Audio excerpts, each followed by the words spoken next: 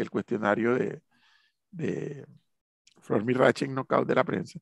Y para mi sorpresa, ayer en la tarde veo que el respetado y apreciado por mí, por lo menos, el que sabe, me conoce sabe que yo soy un, yo soy un seguidor de la música de Rubén Blades, yo soy, cada concierto que he podido ir, si he podido, he, ido, porque admiro su música y, y, eso, eso me lleva a, tener, a tenerle a él como individuo un respeto y un aprecio y una admiración también. Ahora, eso es una cosa y otra cosa es el, debate político. Para mi sorpresa, ayer veo que eh, Rubén Blades me responde a, mi knockout. Flor, ¿ya lo tiene ahí? La respuesta de Rubén Blades. Vamos a leerla rápidamente para luego reaccionar. Dice, buen día, profesor Cabrera. Ofrezco comentarios rápidos sobre su respuesta en el reportaje que le hicieron en la sección Knockout del diario La Prensa, publicado hoy 13 de febrero de 2022. Profesor Cabrera, usted dice, los independientes no pueden desconocer que los partidos son parte de la realidad nacional. Comento, eso es obvio. La realidad política nacional ha sido definida por la corrupción de muchos de los representantes administrativos de la partidocracia tradicional a través de las décadas.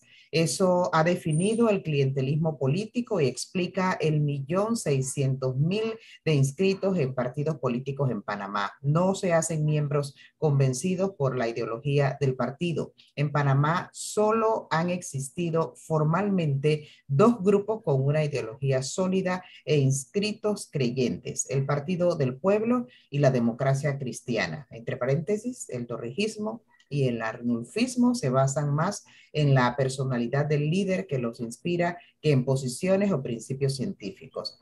Pero profesor, si usted plantea que no se puede generar eh, gobernar, perdón, sin el apoyo político de los partidos existentes, eso puede interpretarse como tenemos que hacer un arreglo con ellos cosa que sugiere la aceptación del status quo, pero solo luego de una negociación para limitar la influencia partidista en la administración pública. No creo aconsejable ese arreglo. Eso sí, las personas decentes que forman parte de partidos clientelistas porque antes no encontraron otra alternativa, pueden entonces apoyar a los independientes, aunque no renuncien a los partidos tradicionales. Profesor Cabrera, usted responde a la pregunta ve pasar esa alianza o ganan los egos? Por ahora ganan los egos, preocupante. Por ejemplo, Blake no dijo que no va a ser candidato, solo dijo que no será candidato independiente y dijo que los independientes deben inscribirse en otro camino. Eso lo incluye porque si lo hace podría robarle el mandado a Lombana. No dudo que él habló con Lombana por más que Lombana lo niegue y entre los dos, ¿quién se bajaría? A ellos les interesa el quién, al país debería importarle el qué.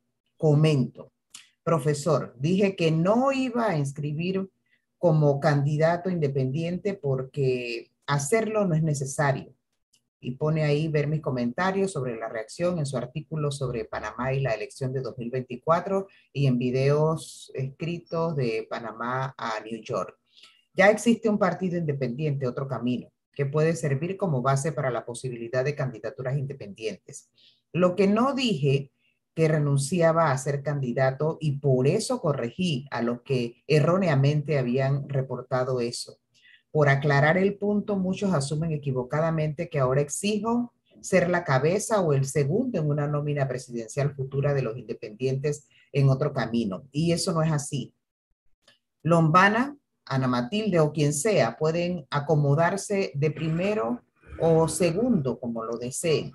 Como no me preocupa el tener espacio en la nómina de otro camino, no voy a interferir en eso.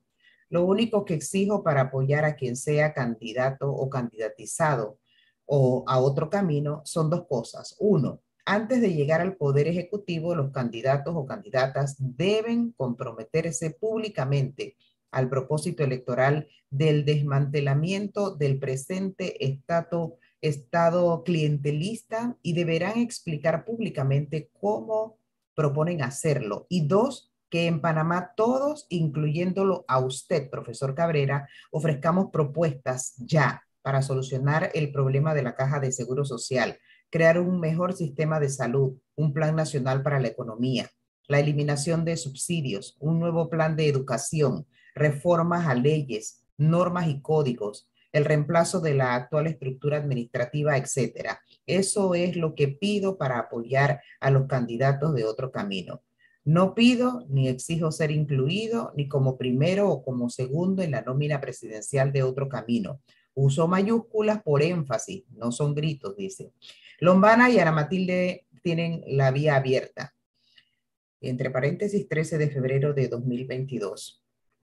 Profesor Cabrera, usted dice, no dudo que él habló con Lombana, aunque Lombana lo niegue. Comento, no he tenido contacto ni he hablado con Lombana desde hace más de 10 años. Lo que él dice es cierto, no hemos conversado. Aclaración final al profesor Cabrera. Cuando sugiero a otro camino como plataforma para los independientes, me refiero a la inscripción con el propósito de ser candidato o candidata no es necesario inscribirse en el partido para votar o apoyar, pero sí para optar en sus primarias como candidatos para puestos de elección, pero sí para optar en sus primarias como candidatos para puestos de elección. En vez de intentarlo por la libre, sugiero a los potenciales candidatos independientes a puestos de elección que se inscriban en otro camino para eso. Esos son mis comentarios por hoy. Gracias, profesor Cabrera. Rubén. Sí, eso fue lo que escribió. Dicho sea de paso, muy respetuoso eh, Rubén Blades en, su, en sus comentarios a, a, a mi respuesta. Eh, y ojalá así fuera el debate siempre. Y no lo digo por Rubén Blades, cuidado. Lo digo en general por la clase política. Siempre fuera un debate respetuoso de altura y un debate de, de ideas. Pero fíjese, y es ahí donde yo eh, eh, pido que el análisis y el demás político se haga en base a realidades. Pero es que el sistema, y yo que les dije a ustedes en alguna ocasión, hay gente que le gusta meterse en la vida política, lo cual es bueno y está bien, pero se meten sin entender cómo funciona el sistema. Y como se metan sin entender cómo funciona el sistema, entonces se cogen los dedos con la puerta o le generan cortocircuito el sistema político en Panamá, del Estado panameño, está diseñado y configurado, lo cual es un error, pero está así y no ha sido cambiado, no ha sido modificado aún. Está diseñado para los partidos políticos.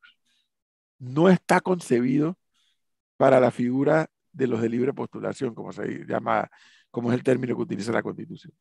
Está diseñado para los partidos. Todo el, concepto, toda la el concepto, toda la plataforma constitucional y legal fue diseñado para los partidos políticos. Oiga, estoy hablando que esas leyes se hicieron durante la dictadura con la participación de la oposición en aquel momento. Y todo era concebido girando en torno a los partidos políticos. Bueno, porque en aquellas épocas y antes se consideraba que la vía de participación política era y siguen siendo los partidos. Pero ¿qué resulta? Que las sociedades han cambiado. Y resulta que alguien dijo, oye, espérate, ¿y por qué solamente por partido político? Y entonces, a alguien se le ocurrió meter ahí en una esquinita de la constitución, podrá haber libre postulación. Y estaba allí tirado eso. Y no se ejercía. Hasta que finalmente se ejerció. Habrán candidatos de libre postulación. ¿Y qué pasó? Comenzó a crecer esa figura y ha dado algunos resultados, como es el caso de los cinco eh, diputados independientes, como es el caso del propio Lombana, quien saca poco menos de 400 mil votos en las elecciones pasadas. Pero el mismo Lombana reconoce que si hubiera sido a través de un partido, hubiera sacado más votos. Y además, no solamente hubiera sacado más votos, hubiera sacado diputados, alcaldes y representantes. ¿Cuántos? No lo sé, pero a lo mejor hubiera sacado algunos. Porque así está diseñado el sistema. Ah, que el sistema hay que cambiarlo, sí. ¿Y cómo lo cambias? Eh, eliminando la figura del golpe de Estado, claro está, pues yo jamás voy a poder estar de acuerdo con un golpe de Estado. ¿Cómo lo cambias? Eliminando la figura del golpe de Estado. Lo cambias a través de las leyes.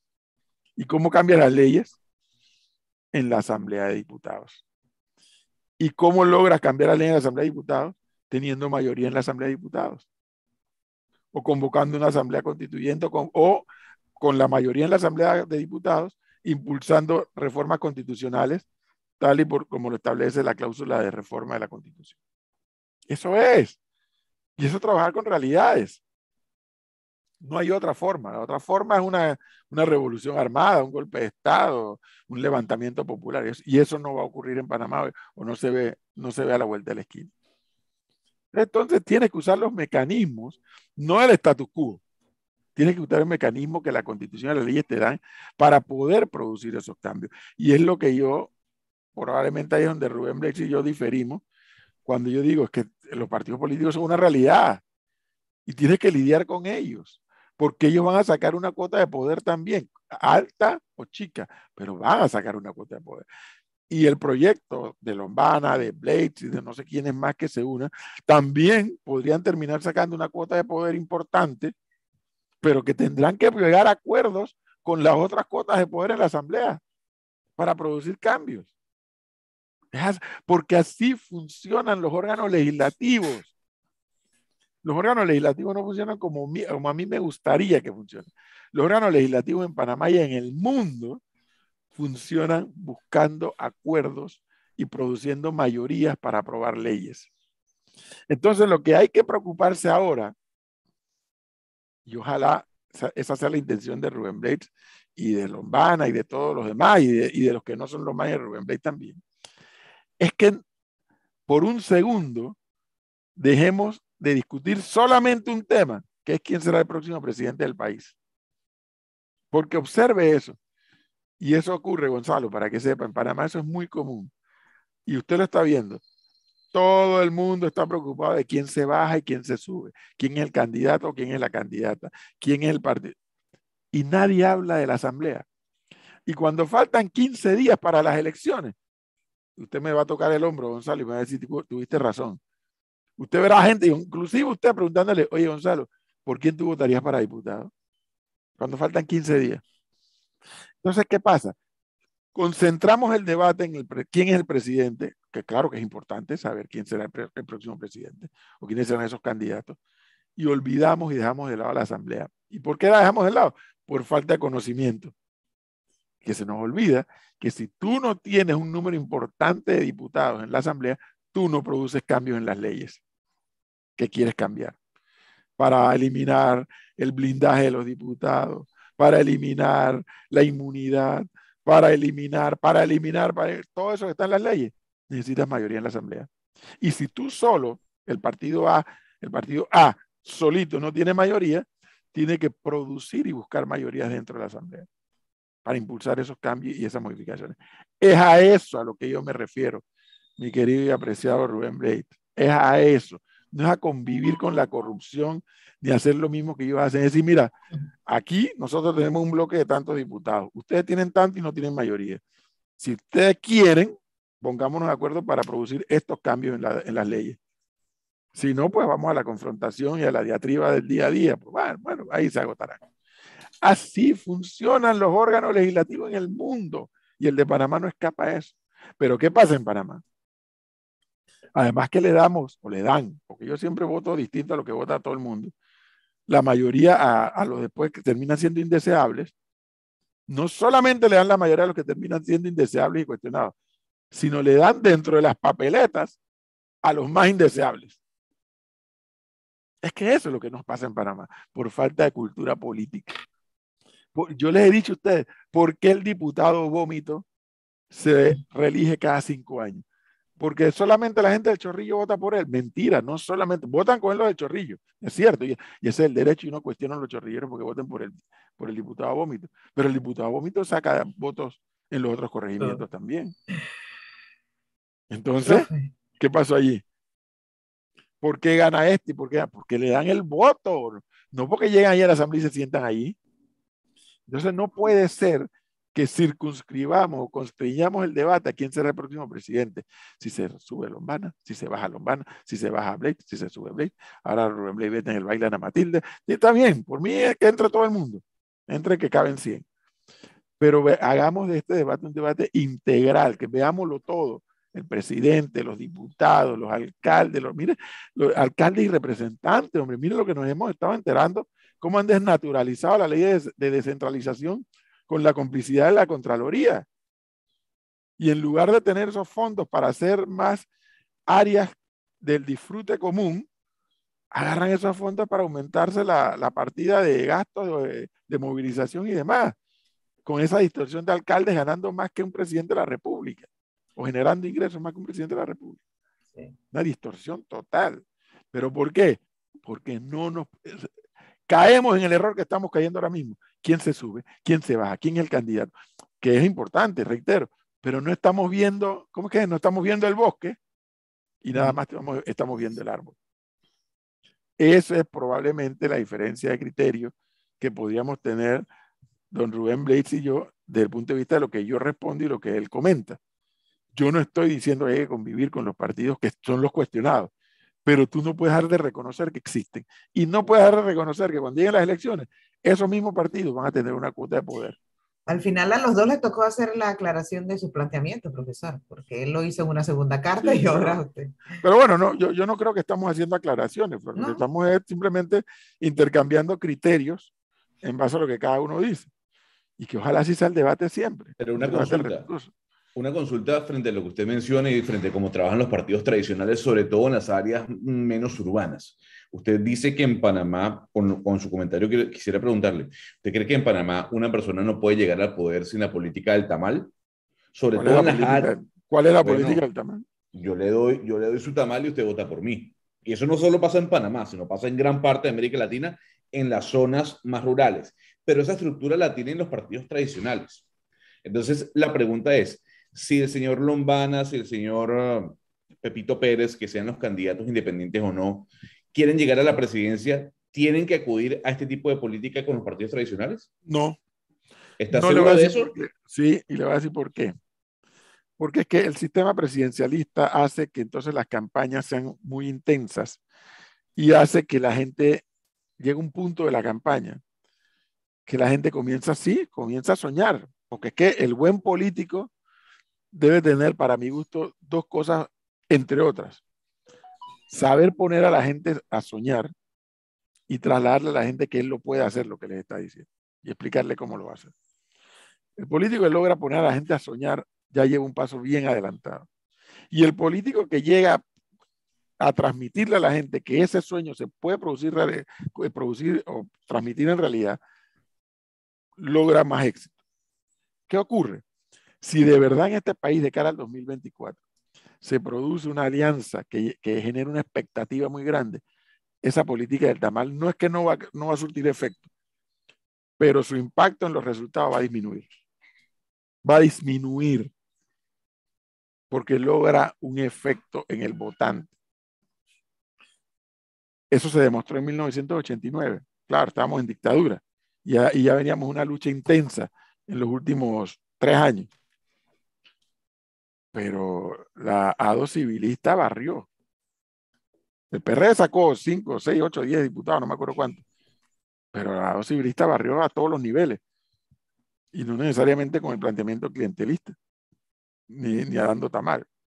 Había una expectativa, había un sueño, acabar con la dictadura, volver a la democracia, entonces tú le vendes ese sueño a la gente y además sabes que lo podemos hacer. Pero para eso requiere armar una alianza y por, eso, y por eso yo no circunscribo las alianzas a los partidos políticos. Es que también hay las alianzas de los sectores sociales, claro. de las organizaciones cívicas.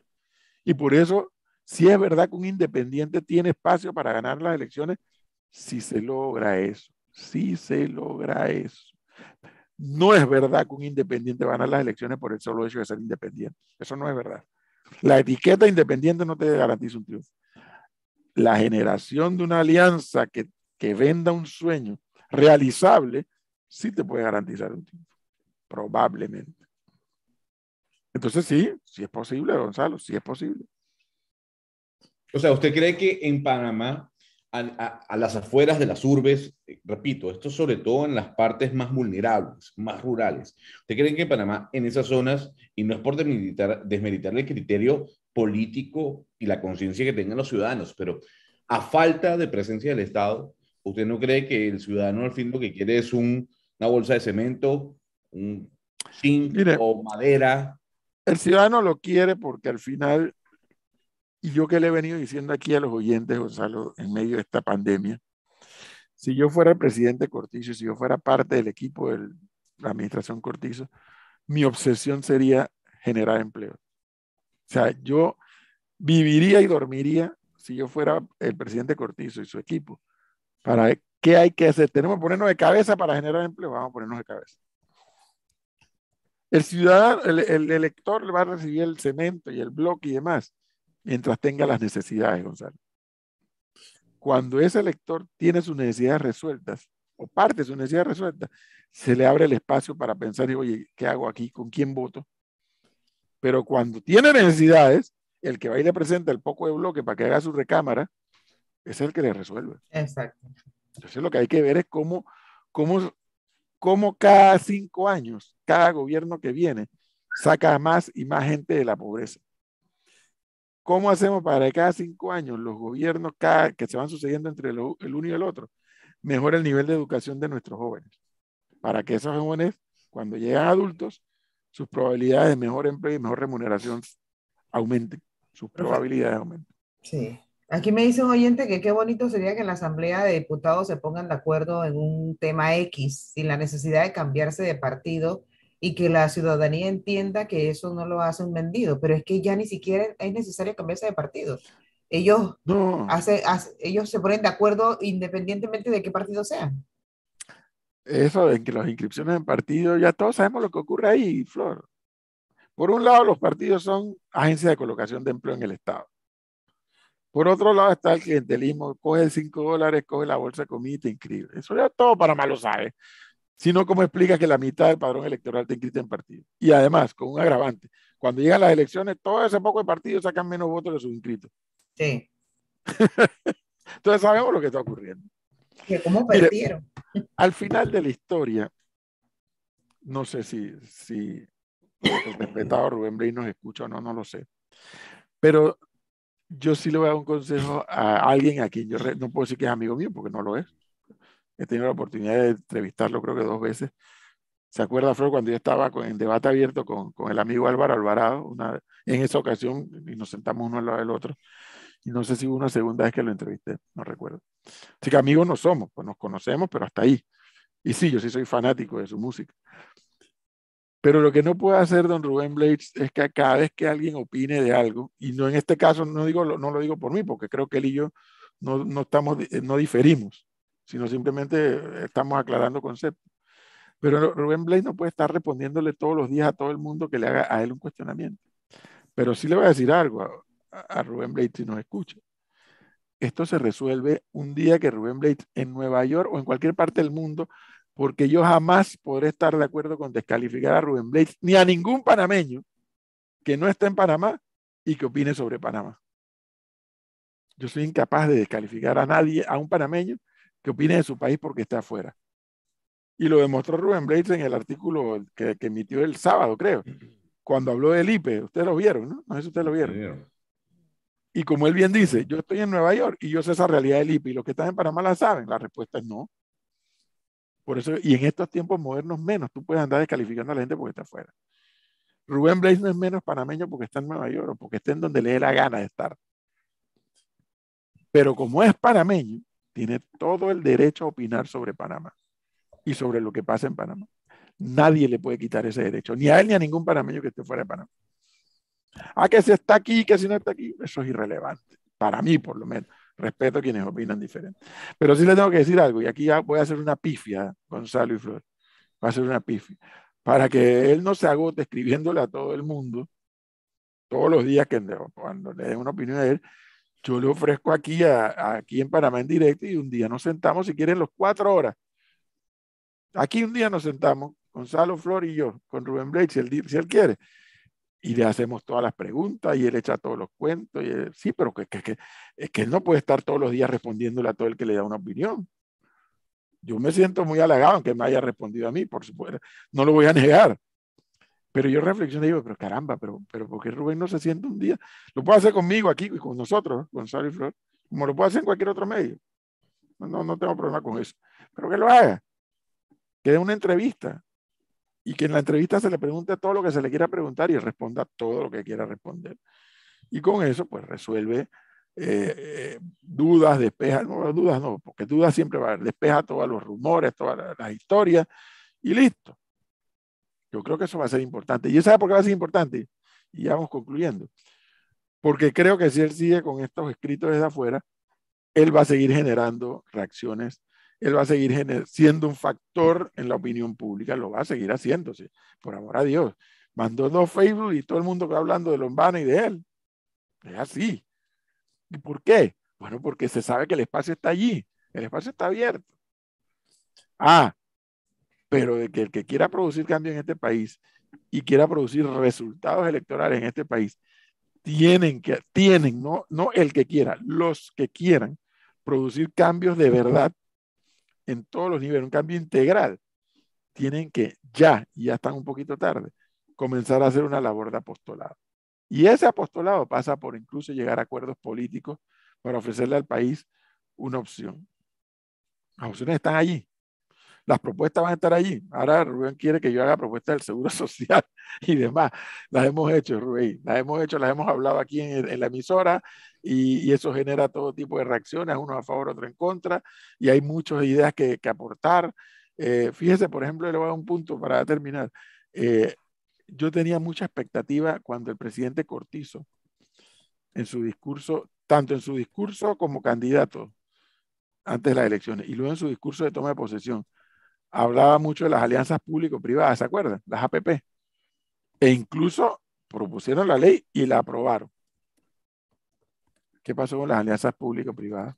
¿Qué ha pasado? Cri, cri, cri, en los grillos. Yo esa es una opción. Una opción que hay que evaluar seriamente, porque ayuda, contribuye a resolver muchos problemas que el gobierno solo no puede resolver. Porque las complicaciones del país y de la sociedad cada vez son mayores y un gobierno solito no puede resolverlas todas. Pero si hay la participación del sector privado en la ayuda al gobierno a resolverlo, será más fácil. Pero en fin, ¿Usted está de acuerdo, Gonzalo y Flor, que le ofrezcamos a Rubén Blades las cuatro horas de Panamá en directo? No, pero por favor, yo creo que yo le agradezco a Rubén Blades eh, algo en el debate político y es elevar. Yo creo que la las cartas que él ha redactado elevan o muestran un alto nivel de debate político. Es correcto. Algo que no, algo que no tiene muchos, muchos actores en Panamá, ¿no? Entonces, yo sí rescato que más allá de los planteamientos que trae a colación el maestro Rubén Blades, cuando uno lee la carta, uno lee que hay un alto nivel de debate político. Se habla de ideología, se habla de pensamiento, se habla de corrientes. Y usted lo ha visto acá en el programa, profesor. Esos temas ni los manejan los políticos locales, ni los tocan, ni los desarrollan. Algunos no tienen ni idea. Por eso, yo creo que yo le agradezco a Rubén Blades, a Rubén Blades, eh, que, que el debate político lo haya elevado un poco y que aquí estemos debatiendo no un tema de acciones, de votos, sino un tema de ideas, de corrientes, de posiciones, de ideologías, algo que le hace falta, sin duda alguna, a la política de este país. Me llamó la atención que reconoció que aquí nada más ha habido dos partidos con ideologías, el Partido del Pueblo, el Partido Comunista Panameño y la Democracia Cristiana. ¿Y por qué me llamó la atención? Porque en un momento de la historia del propio Rubén Blades, esa misma democracia cristiana que él le asigna un valor ideológico de aquella época, le ofreció una opción de alianza y él la descartó, la desechó. Eh, yo todavía al día de hoy no he entendido, pero bueno, mentira, sí entendí. Pero ¿por qué, ¿por qué habrá hecho eso? Si, eh, probablemente la historia hubiera sido otra. No sé cómo, pero hubiera sido otra. Pero bueno, cosas que pasan. Sí, mientras el debate esté desprovisto de ideología, Gonzalo, mientras el debate esté desprovisto de, de una visión conjunta de país, el debate va a ser lo que todos estamos criticando, el electorerismo puro y duro, el clientelismo puro y duro, eh, la superficialidad pura y dura.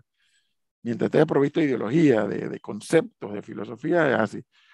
Pero ideologías y conceptos y filosofías aterrizadas, aterrizadas a tierra, valga la redundancia no, no en pajaritos preñados. Siete.